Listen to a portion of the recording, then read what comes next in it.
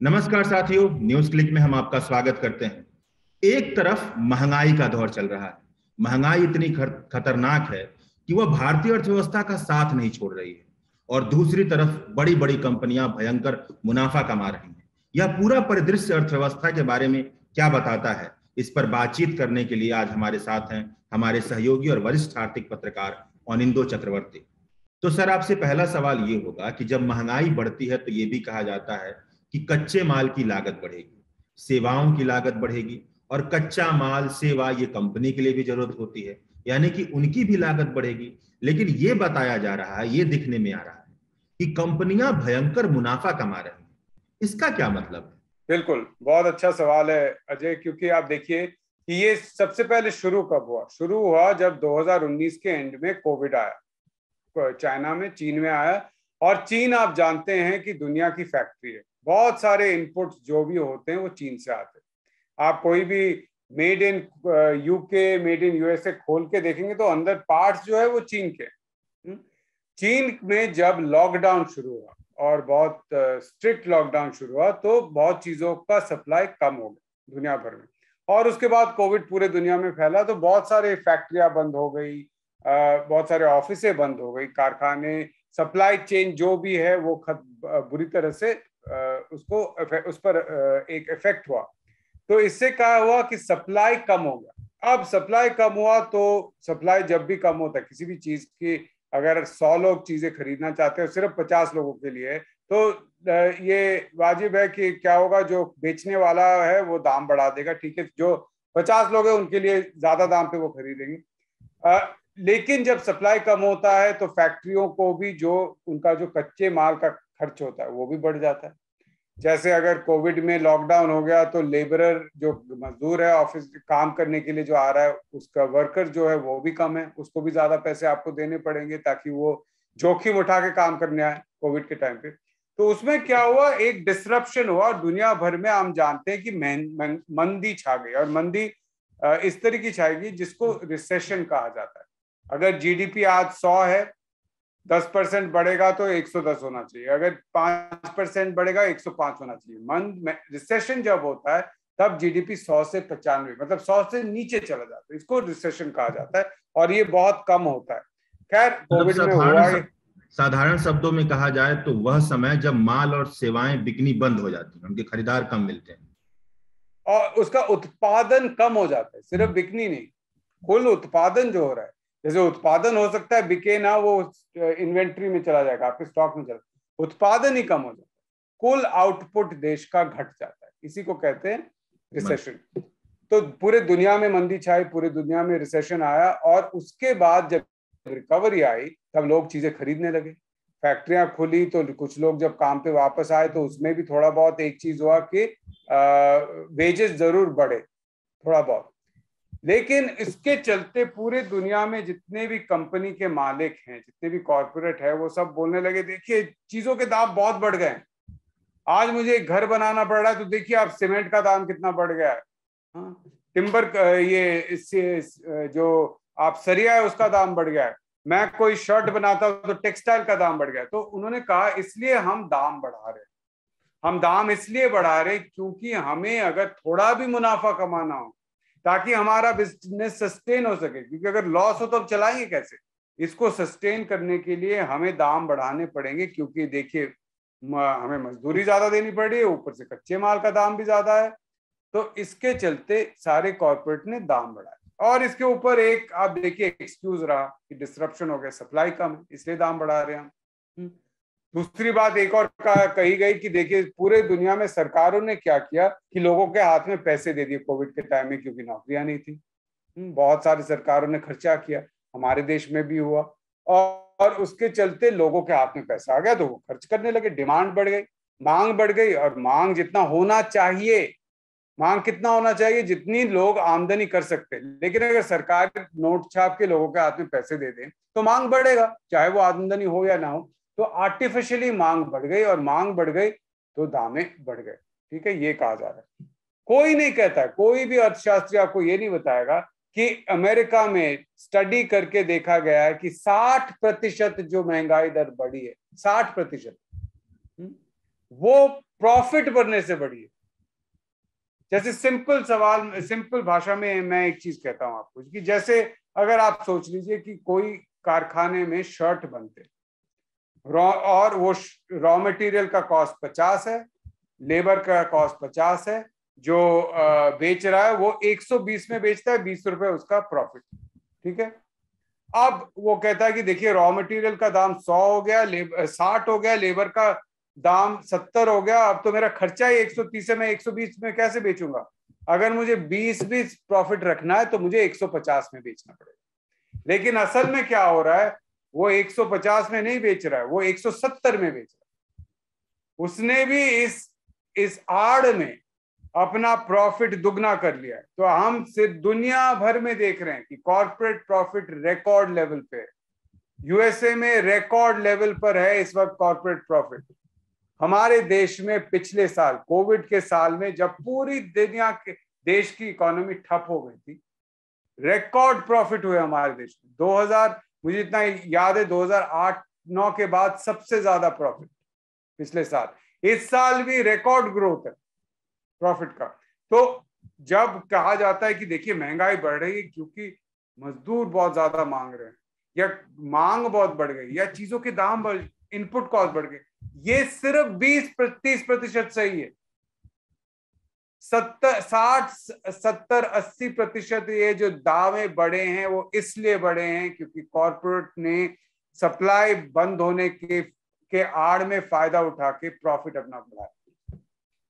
यानी कि वो जो भी कहा जाता है, जो भी बताया जाता है कि बाह्य कारणों की वजह से सप्लाई की कमी की वजह से इन्फ्लेशन बढ़ रहा है, लेकिन असल जो कारण है, जो सबसे बड़ा कारण है, वो है मुनाफा बढ़ने के कारण। अब बात यह आती है कि वो जो मुनाफा बढ़ता है तो वो मुनाफा चंद लोगों के पास रह जाता है या मुनाफा लोगों में बटता भी है?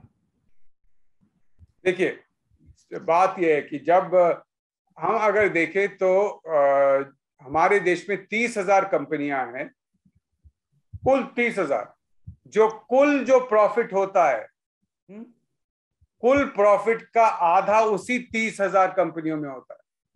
अगर हम देखें शायद लाखों में लाख बहुत सारे लाखों में कंपनियाँ एंटरप्रेन्योर बिज़नेस के लोग हमारे देश में होंगे। हाँ? लेकिन तीस हज़ार टॉप कंपनियाँ आधा से ज़्यादा प्रॉफिट करती हैं।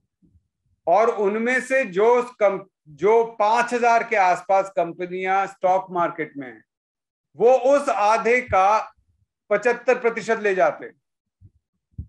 ठीक है? तो सिर्फ़ पाँच हज़ार टॉप कंपनियों का देश में कुल मुनाफे का आप कह सकते हैं, एक तिहाई उन्हीं के हाथ में। तो जब देश में मुनाफा कॉरपोरेट का मुनाफा बढ़ता है, ऊपर सबसे ज़्यादा मुनाफा बढ़ता है, नीचे नहीं बढ़ता है। और मुनाफा कैसे बढ़ता है? जैसे मैंने कहा हाँ कुछ पैसा उनके हाथ में जा रहा है क्योंकि मजदूरी बढ़ गई। लेकिन मुनाफा उससे ज़्यादा तेज़ी से बढ़ रहा और मजदूरी मजदूरी में क्या होता है कि जैसे अगर महँगाई दर आपकी मजदूरी दस परसेंट बढ़ गई, आपकी सैलरी दस परसेंट बढ़ गई, लेकिन महँगाई दर बारह परसेंट हो गई है तो आपका कोई फ़ायदा नहीं, आपका दो परसेंट लॉस है। क्योंकि कल जो आप सौ रुपए में खरीदते थे, आज उसको आपको एक सौ बारह रुपए देना पड़ा, है ना? तो आपकी आमदनी एक्चुअली असल आमदनी घट गई है। जब इन्फ्लेशन होता है, तब मजदूरों की असल आमदनी घट जाती है, और इसके लिए कहा जाता है कि देखिए, मजदूरी चाहते कि इन्फ्लेशन पर रोक लगाया जाए। लेकिन जो इन्फ्लेशन प्रॉफिट से बढ़ रहा है, उस पर कोई रोक नहीं लगता। यही बात है कि बाहर जो प्रॉफिट होता है, वो पूंजीपति हमारे दुनिया में बहुत कम है। एक परसेंट होंगे, दो परसेंट होंगे, जो ऑन्टरप्रेन्योर है, जो पैसा बनाते यानी ninety nine, ninety eight percent लोगों को नुकसान होता है जब प्रॉफिट बढ़ता है। तो वो भी जो हम लोग किताबों में पढ़ते हैं, शुरुआत आठवीं, दसवीं क्लास की किताबों में कि जब पैसे का प्रवाह बहुत ज़्यादा हो जाता है और उत्पादन कम होता है, तब महँगाई बढ़ जाती है। यानी कि यहाँ पर जो पैसे का प्रवाह है, केवल चंद हाथों में है, बाकी हर जगह पैसा है नहीं। ये भी एक वजह हो, ये ये जो बातें हैं, ये सारी बातें अब कहनी चाहिए। बसरते कि वो जो किताबों में लिखी होती हैं कि पैसे का प्रवाह बहुत ज़्यादा हो गया है। ऐसी बातें तो अब नहीं कही जाती हैं कहीं भी। पैसे का प्रभाव बहुत ज़्यादा हो गया ये कहा जाता है किताबों में और ये एक्चुअली 1990 से ज़्यादा बढ़ा है हमारे किताबों ऐसी बात है। नाइनटीन एट्टी से शुरू हो गए थे लेकिन बहुत ज़्यादा जो कॉलेज में पढ़ाया जाता है ये कहा जाता है कि पैसा ज़्यादा हो गया है बहुत ज़्यादा मनी का फ्लो हो गया है लेकिन उतनी चीज़ें बन बन रही है इसलिए दाम बढ़ना है। लोगों के हाथ में अगर पैसे ज़्यादा आ गए लेकिन चीज़ें उतनी बढ़ रहे हैं। इसका कोई मतलब नहीं है क्योंकि पैसे के प्रभाव पैसा किसके हाथ में जा रहा है उससे डिपेंड करता है ना कि खर्चा बढ़ रहा है या नहीं। तो ए, तो ए, एक सिंपल एग्जांपल मैं आपको देता हूँ कि जैसे अगर आप सोच लीजिए कि देश में 80 प्रतिशत लोगों के हाथ में पैसा नहीं है कुछ भी खरीदने का हाँ? और इसके चलते एक कंपनी में फैक्ट्री में 10 मशीनें हैं लेकिन 10 मशीनों में वो सौ चीज़ें बनाते हैं लेकिन सौ चीज़ खरीदने के लिए कोई है नहीं तो वो क्या करेंगे? तीन मशीनें बंद रहेंगे, उनके सात मशीनें चलेंगी, है ना? तो वो सौ के जगह सत्तर बना रहे लेकिन खर्चा तो दस मशीनों का है। मशीन जब खरीदा, तब तो दस ही खरीदा था। तो जो उनका फिक्स्ड कॉस्ट है, जो लैंड का कॉस्ट है, जो रेंट का कॉस्ट है, वो तो वही का वही है। उसमें तो कोई फ़र्क नहीं पड़ रहा है। जो मैनेजर है, बड़ा बाबू है, उसका सैलरी तो उतना ही उतना है।